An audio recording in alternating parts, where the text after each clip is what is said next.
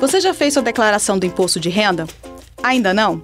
Então, antes de prestar contas ao leão, fique ligado nessa notícia. Se você está entre os brasileiros que têm imposto a pagar, saiba que pode destinar até 3% do valor para projetos sociais no seu estado. Para isso, é preciso que a declaração de pessoa física seja feita no modelo completo. As empresas também podem destinar até 1% do seu lucro. O dinheiro será usado em projetos para a proteção e defesa dos direitos da criança e do adolescente. Tem mais informações como essa nas nossas redes sociais. Fique ligado!